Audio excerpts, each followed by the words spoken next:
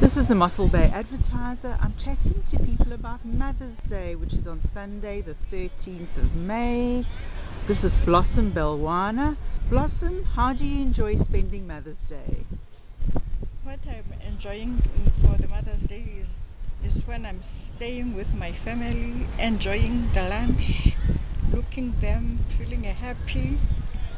That will make me very, very it will make me to enjoy the day. Wonderful. What's what's your favorite part about being a mum? My favorite part of being a mom is is, is when I see my children growing uh-huh. and do what I taught them and I, I want them to treat people, older people with respect. What I can just tell other people is that they can treat their kids with respect so that they can also get it back from Wonderful. their children. Hi, sweetie, what's your name? Lameez. Lameez. Did you know that it's Mother's Day on Sunday? Yes. Wow. And what are you going to be doing for your mom?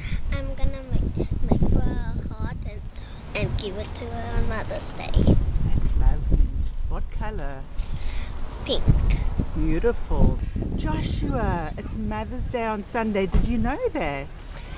No. Oh, okay, now you know. Are you going to do something for mom for Mother's Day? Yes, I am. What what sort of things do you think you'll do? Um, I think I will make a letter. That's lovely. And what are you going to put in the letter? Um, like a sweet. Oh, awesome. And what will you say? What sort of things in the letter? Um, hey mommy, I gave you this letter, so it's Mother's Day.